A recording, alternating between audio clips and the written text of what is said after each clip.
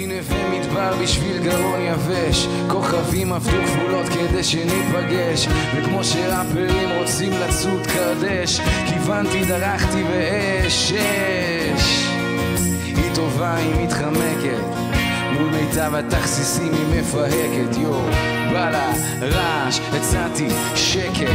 היא ססה קצת אבל בסוף היא לא הצביעה נגד. וזה עטים כאילו שתי טיפות של פאזל אני לא יודע מה זה אבל מאז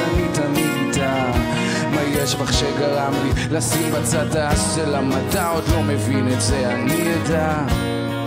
אנשים חושבים אני על קרק יכולים לשרוף ימים שלמים על רק את ורק אתה וטטטי וטטטה מערבב את השוקולדה עם הבטטה אני והי.